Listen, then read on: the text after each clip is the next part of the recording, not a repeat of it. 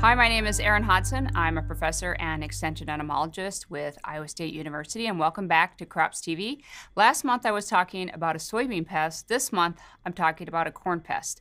And actually, I'm, gonna, I'm going to talk about corn rootworm, which is the most frequent question that I do get asked about. I would like to acknowledge Ashley Dean, who helped me create some of these slides, and of course, Dr. Aaron Gassmann, who provided a lot of the research that I'm going to talk about today. So you are watching a pre-recorded video, uh, but just to let you know, I'm behind the scenes watching the video the same time as you. And so I encourage you to ask questions along the way as you have them. I'll try to answer those the best that I can. And if I feel like it's better answered verbally, I will wait until the end. And so there'll be plenty of time to answer qu your questions at the end too. So even if you don't plan to ask any questions, I encourage you to open that chat box up just so you can see what the conversation is uh, going on at the same time as, as the video. So let's get started.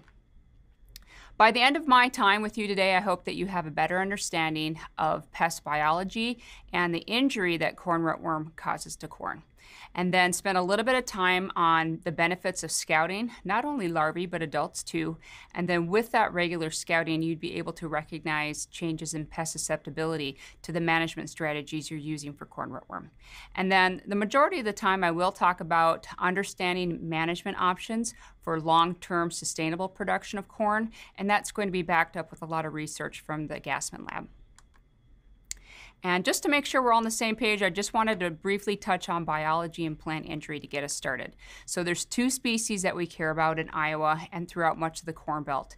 They're both in the same family of leaf beetles. The northern corn rootworm on the left is the bright limey green one, and the western corn rootworm is yellowish or brown with some dark markings on the wings. Like all beetles, corn rootworm goes through a complete life cycle with four distinct life stages, egg, larva, pupa, and adult. And right here in January, they're in the egg life stage uh, in the soil. So that's how they spend the winter. When soil temperatures warm up in the spring, those eggs will hatch into larvae, and that's the main that's the main feeding stage where the larvae like to feed on corn roots. So they'll go through three instars, approximately a week each, feeding on corn. Then they'll move into a pupation stage where they build a little earthen cocoon also in the soil. And then for the only time in the life cycle, they'll emerge above ground as an adult where they are interested in eating, mating, and laying eggs. And they're active for about six to eight weeks. Now, a little bit more about the biology. There's been a lot of research, of course, for these significant pests. And in general, accumulation of uh, development from egg to an adult happens on a predictable degree day units. And in general, Westerns develop faster than Northerns, and males develop faster than the females. So males usually come out three to five days before the females do. Now on the right you see, you see I have some color variation for each species. And on the top you see western corn rootworm, the females on the left, and it's sort of a, a gradient from three distinct stripes to a kind of a black smudge on the forewings with the males on the right. And then northerns have some color variation too. You see the what I normally see would be the bright limey green ones, uh, but you could also see some brown and tan ones out in the landscape too. Now, a female uh, is capable of laying around 400 or 500 eggs, and her preference is to lay them about six inches under the soil line. That depends quite a bit on soil texture and moisture in the soil. Uh, they both of these species rely on local movement to to mate and lay eggs, and so typically it's around 40 meters per day. So they are going to move within fields and between fields on a, for about that six to eight weeks, and they're not considered long distance migrators that you would think of for like European corn borer or uh, black cutworm. Now, I did mention they have a complete life cycle, and generally this life cycle happens once per year or univoltine. So the females lay eggs in corn, that's how they overwinter. Those eggs will hatch, and if corn is planted in that field next year, the larvae will have something to eat. Uh, but we do have two genetic variants in Iowa and also in some places in the Corn Belt. So the Western corn rootworm variant uh, is uh, a, a workaround to crop rotation in which the female will lay eggs in soybean overwinters in old soybean fields. So hopefully corn is planted in that field next year so the larvae will have something to eat. The northern corn rootworm also has a genetic variant in which the eggs persist in the soil for two or more years called extended diapause. And so both of these are, ways to, uh, uh, to, to work around the corn soybean rotation that happens quite a bit throughout Iowa. And so the intensity or the level of these variants in Iowa is highly variable. I would rely on your extension field agronomist to better understand, even within a county or on a farm, the level of variance in your neighborhood.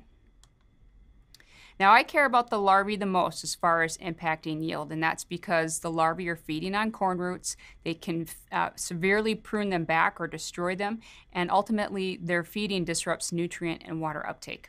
Of course, that directly would impact the yield because it's not getting everything that it needs to grow properly, but you have very tall plants on a small root system and it makes them, those plants unstable. So if you have a high wind event or you have a derecho, you could have corn that falls down. And sometimes, depending on when these wind events happen, the corn uh, cannot right itself and it stays down or dies. But in other cases, it's going to try and grow back up and it, you get that classic goosenecking. So if the plant survives uh, and it is gooseneck, it can make harvest a real challenge because the combines have to go really slow to pick the ears and it can be very frustrating. So, taking a closer look at the root injury caused by the larvae, there was a huge meta analysis conducted by Nick Tinsley in Illinois that identified uh, those rings or those nodes of roots uh, and the associated uh, injury or yield loss that comes along with that. And what he found is that for every node of roots that are pruned back to your first knuckle is approximately 15% yield loss. And there are three major nodes that contribute to nutrient and water uptake. So you could have three nodes destroyed as shown in these in this photo, and it's it would be approximately 45% yield loss. And any other type of stress, whether it's biotic or abiotic, say you have moisture stress, you have pathogens in the corn, or you have other insect pests, that injury can be compounded on top of the larval injury. Okay, transitioning to part two, where I just wanted to refresh you on scouting and using thresholds to make treatment decisions. Now, as I mentioned before, the rootworms develop to an adult based on accum accumulating heat units, just like plants. And so I use a weather network around Iowa to track accumulating soil temps um, all, all throughout the state. And these are just a few of the stations that I use. So we know that every spring is a little bit different. T 2020 was nice and warm, so temperatures accumulated faster. And the benchmark really is around 700 degree days. And so most of you know the southern counties would warm up faster than the northern counties. And so every year I would put out a map like this where I predict egg hatch throughout the state through a free online newsletter called ICM News. So I encourage you to subscribe to that. So you may be asking, why do I care about egg hatch? Well, it's important because approximately four weeks after egg hatch is when I would at first expect to see adults. And I know the larvae have finished their round of feeding. So seeing adults in the field is my cue to assess root injury. I want to look at the root system while the injury is fresh so I can see pitting, scarring, browning, or any type of discoloration, and then of course the pruning of those major roots. Those major uh, roots. I don't want to wait until August or September because some hybrids uh, will put on a lot of regrowth or bottle brushing and it becomes more difficult to assess injury. And so I want to assess the injury while it's fresh, but it's also a cue for me four weeks after egg hatch to begin my adult monitoring program if you're interested. So Iowa State and most people who assess root injury for different management strategies are using a zero to three scale. And really assessing root injury is the most accurate way to assess your management strategy, or maybe you're using a couple things to suppress larval numbers. And it's fairly intuitive. So if you have 10 roots anywhere on the root system pruned back to your first knuckle, uh, that would be a score of a 1. 20 injured roots would be a 2, and 30 would be a 3. So remember, if you have a node gone or 10 roots gone, it's equivalent to 15% yield loss. And so just to keep that in mind, the EPA says that you should never experience a 0.5 or greater injury if you're using a pyramided BT trait. And in my experience, if you have adequate moisture and in most soils in Iowa, you would probably not notice this level of injury or stress to corn uh, because uh, corn is adapted very well. So you're not likely to see five pruned roots. So corn is probably going to be straight even after heavy winds. And so really the only way to know that you've reached this level, this, this important cutoff, is if you're digging plants, washing them on, and washing them and then assessing for root injury. But uh, it is tedious, it's hard work, and so not everybody's in favor of this, even though it really is the most accurate way to assess injury. So that should be a red flag. Uh, you know that 0.5 is a big red marker uh, that hopefully you, you're not um, you're not seeing in the field. If you're not interested in digging up plants, you can still assess activity by monitoring for adults. And I recommend these yellow Trécé sticky cards, and you can attach them right to the corn stalk. And there's been quite a bit of research on how to do this to accurately assess activity in the field. And so we've developed this sampling protocol, which includes two to three transects per field, four to six traps per transect, and then you're in those fields swapping out the cards and counting all the rootworms, northerns and westerns, on those traps. And so you'd be able to walk away at each sampling period with number of beetles per trap per day.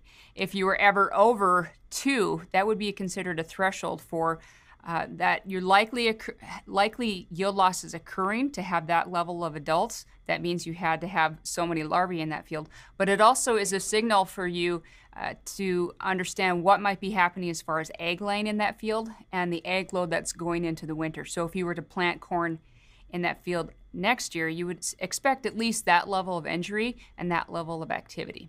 So uh, I'd encourage you, if you're interested at all in giving sticky cards a try, I have a rootworm trapping network that we started with Ashley Dean in 2020. We're going to continue in 2021. We'll send you free traps. All we're asking you is to give us the counts. And it is just a, it's a more informal way of assessing activity if you don't want to do the root injury scores.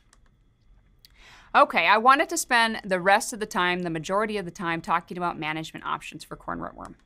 And these are all ideas that have been promoted as suppressing tactics for either the larvae, the adults, or maybe both. And I just want to spend a little bit of time on these with some research updates.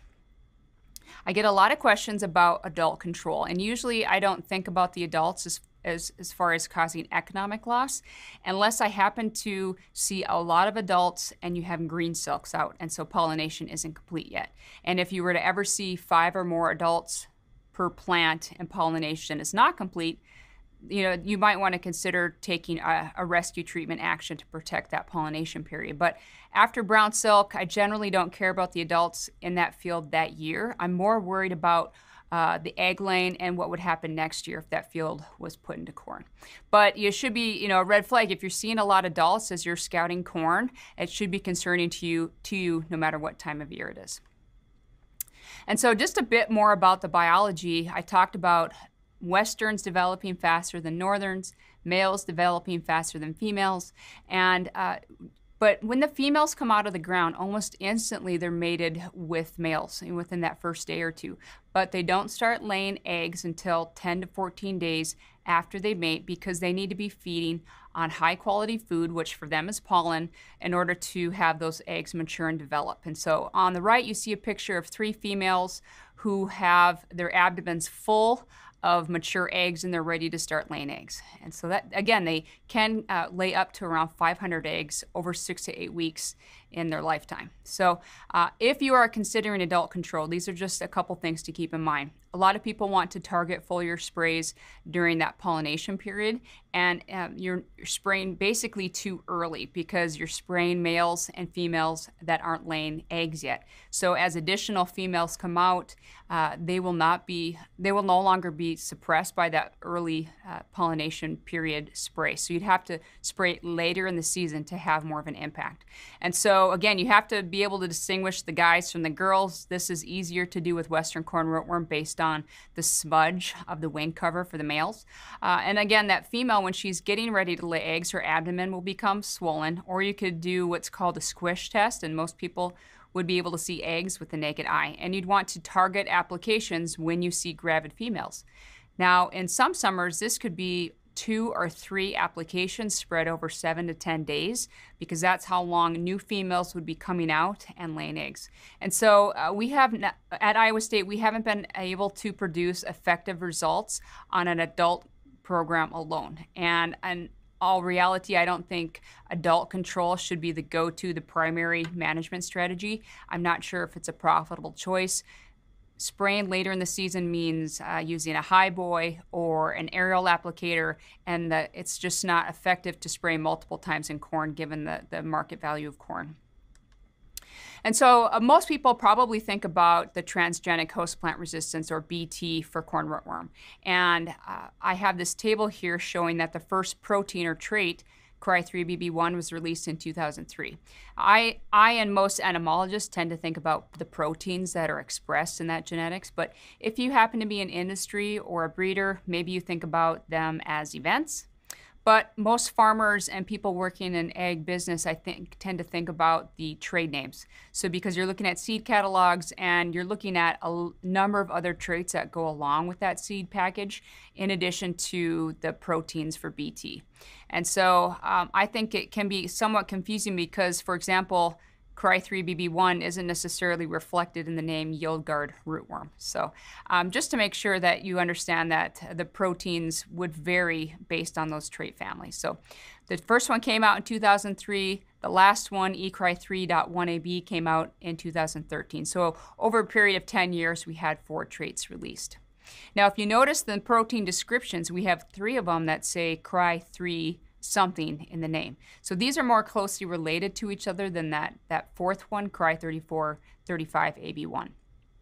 And for the proteins that we have for corn rootworm, they would not be considered high dose even at the initial release. And so high dose generally means 99.99% control and which you have susceptible individuals. And we, we see this for some caterpillars for the above ground traits like European corn borer, but we didn't see that level of efficacy for rootworm traits, even at first release. And so I do think it's confusing, and because trait packages, trait families are often changing, and they're changing what's included with that, including herbicide tolerance and uh, some of the refuge that goes along with that. And so I encourage you to find, and just by Googling BT trait table, every year this gets updated. And they also have a trait table for sweet corn, so if that's of interest to you as well. But I think it's a really nice two pager that summarizes the, the events or the proteins that are included, the uh, pests that are targeted with those proteins. And now they've even included a column that includes resistance uh, that's been identified to some of those traits, which is really important, uh, not only for the below ground traits, but now especially for some of the above ground traits as we think about corn production uh, further east of Iowa. And so, uh, unfortunately, we have confirmed BT resistance to all four traits in Iowa and through other places in the Corn Belt starting in 2009. So, it didn't take very long to identify field evolved resistance to all four traits in our state with the help of the Gassmann Lab. And how he did this, I've talked about this in greater length before, but I just wanted to summarize how he assesses the resistance or susceptibility of populations in the field. So Aaron has some lab colonies of western corn rootworm that you can see in the first two columns that he would consider uh, as susceptible as corn rootworm gets, where you have 3 to 5% survivorship when they're exposed to BT. Uh, he also would collect individuals from commercial fields where a farmer thinks that they have problems with the performance of BT. And so you can see the, the last five columns are all populations that he collected from the field.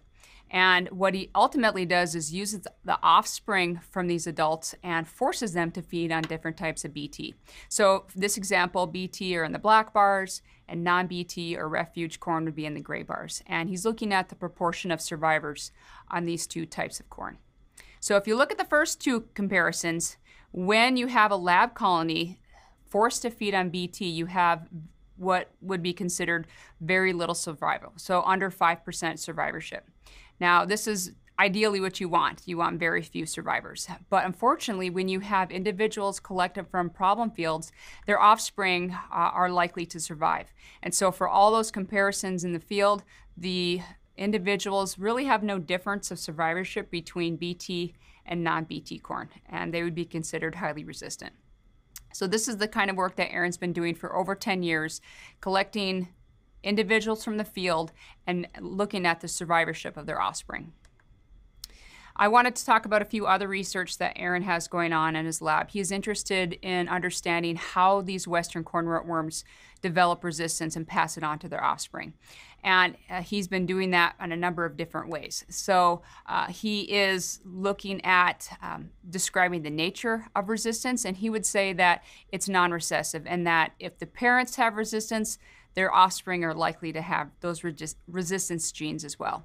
And he's also looking for fitness costs. Usually, if, if a pest species can overcome a management strategy like an insecticide or BT, they don't live as long, or maybe they don't produce as many offspring, or maybe they have a harder time overwintering.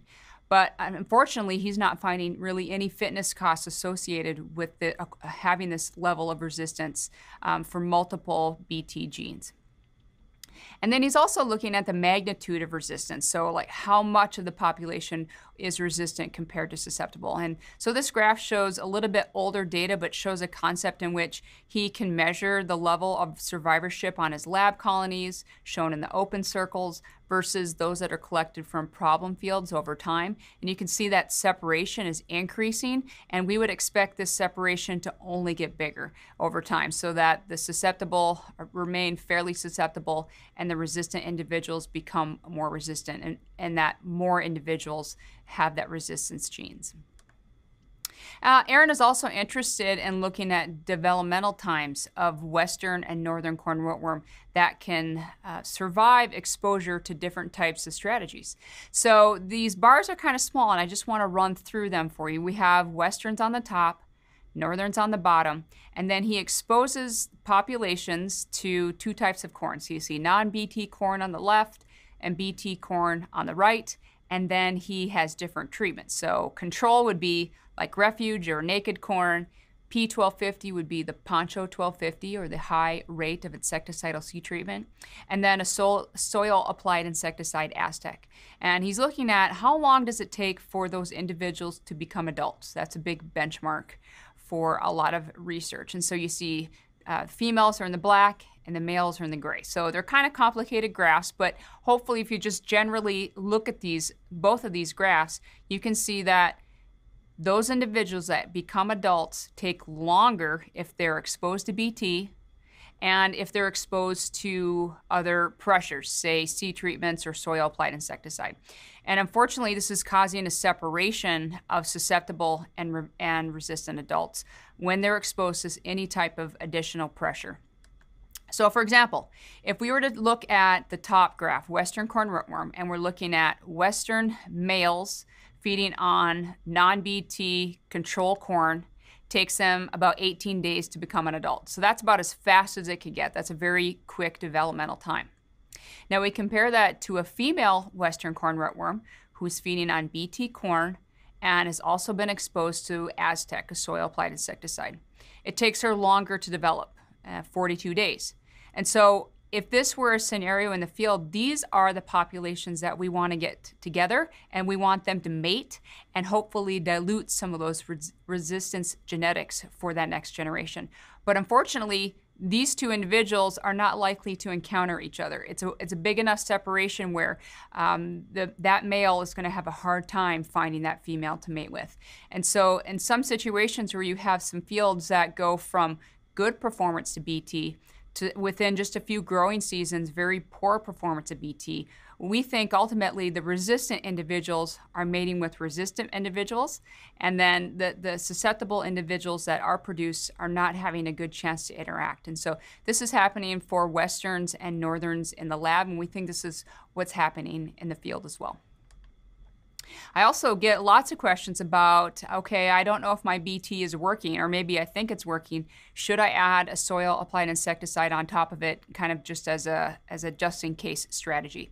And Aaron has some data to support that this layering approach of BT and soil insecticides are not recommended. And so I have a graph here on the top that looks at two different types of corn again with the same treatments. You have the control or uh, naked seed, you have the Poncho 1250, and then you have the soil applied Aztec. And he's evaluating root injury in the field in these treatments. And you can see that those individuals that are feeding on BT have have very low root injury. So that's that's great. That's exactly what you want. If you're not using BT, sometimes the root injury can be very severe. And of course, we all know the yield loss that's associated with that. He's also looking at yield, which is ultimately what the farmers care about. And you can see here that it doesn't necessarily improve yield when you have BT and you put another strategy on top of that. So when if you look at the top, it appears that you have very low injury. We're, we would not associate that with uh, a big yield improvement. And so, uh, bottom line, if the BT is working, soil applied insecticides or insecticidal seed treatments do not significantly improve yield.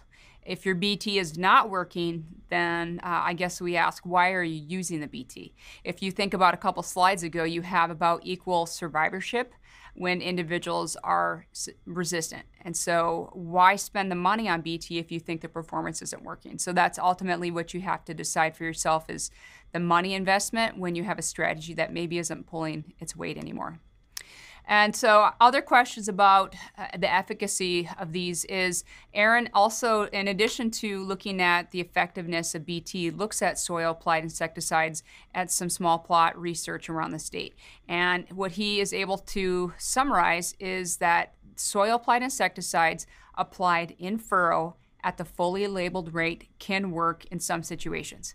So this sort of depends on where you are in the state, how fast that soil warms up and you have egg hatch, and then also just things like moisture, temperature, and even uh, other factors like soil texture can make a big difference. And if you think about, you know, when do people want to plant corn in Iowa? Um, it's sort of those last two weeks of April if conditions are great, maybe the first part of, of May if we're having a cool, wet spring. When do corn rootworm eggs hatch? Well, say for Ames example, the uh, average hatching date is around 7th to 10th or June. And so it could be almost a two month period from when you plant the corn to when larvae are feeding on that corn. And so for some situations, you're asking a soil applied insecticide or seed treatment to hold up and have that killing powder power in the root zone, and it's a very hard ask. And so in general, there's some situations where people have had very good luck with soil applied insecticides and others just don't really see, see the value in that. So it's almost like you have to do research on your own farm to understand that. But um, that the effectiveness of soil applied insecticides and seed treatments are highly variable. But in general, Aaron would say that seed treatments don't work in a meaningful way for corn rootworm. Again, that period from when people plant to when larvae are actively feeding is a long period. And seed treatments are really meant to protect the seed and seedlings. So uh, we wouldn't expect that to have a lot of killing power in June and July. Uh, also, a few other updates just to kind of summarize uh, what I've been talking about for Western corn rootworm. Again, all four traits have confirmed field evolved resistance. There is cross resistance between all the, the three Cry3 traits, but they haven't identified cross resistance with that fourth trait, Cry34, 35AB1, yet. But in general, Aaron would say that the number of problem fields with BT performance is increasing in the state. That can be found throughout the state now. It's not just a, a north of I 80 uh, issue anymore. And the range is expanding beyond Iowa into other states as well. Now, Aaron certainly identifies fields and will sample fields where people say they have a problem. And 10 plus years, if someone thinks they have a problem, in a year he will tell you, yes, you have resistant individuals. It takes a very long time to get those results, but the answers are generally, yes, you have more individuals surviving than should. But he also uh, spot checks commercial fields not known to have any type of performance issue. You don't necessarily see a ton of adults, you don't have goosenecked or lodge corn, and he does the same process. And and in this research, he's identified that Cry3 resistance is also confirmed in those fields not known to have any type of problem. And at this point, he said he would assume some level of Cry3 resistance in all Iowa cornfields. Uh, you may have heard about resistance to northern corn rootworm. It's a species that uh, is getting a little bit more attention in Iowa, in which, especially if you're sampling using the adult uh, sticky card method, some people are just noticing more northern rootworm activity in the last couple years. Well, a North Dakota entomologist and her lab, Janet Knodel, identified uh, poor performance in 2016 and was eventually able to confirm resistance to Cry3, Cry3BB1 and Cry3435AB1. Uh, this resistance is not known to occur outside of North Dakota at this time, but seeing a dramatic uptick in northern corn activity in your field and seeing um, poor, poor performance of BT and you're not sure if it's westerns or northerns, uh, we'll have to assume at some point that the resistance will be confirmed in Iowa. So if you have a field with poor performance, you're noticing a lot of northerns, I know uh, Aaron Gassmann would be very interested in coming collecting from those fields. So please keep in touch.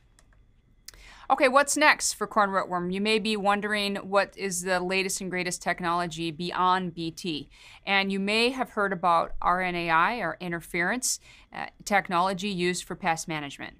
This technology is highly specific to the species, so it's going to be specific to northern and western corn rootworm.